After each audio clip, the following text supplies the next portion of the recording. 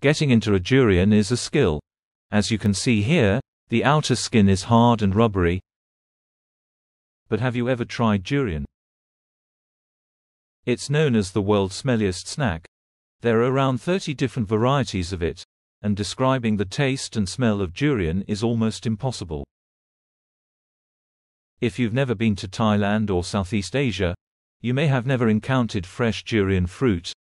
Durian has a unique appearance and a memorable smell, often likened to rotting meat, turpentine, and gym socks.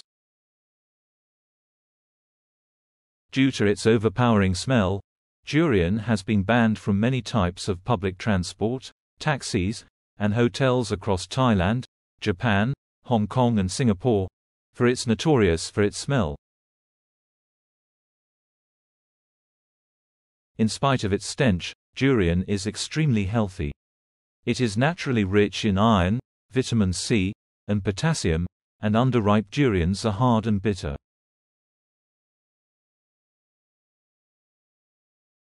For over a hundred years, many have tried to describe the taste and smell of durian, but it remains indescribable.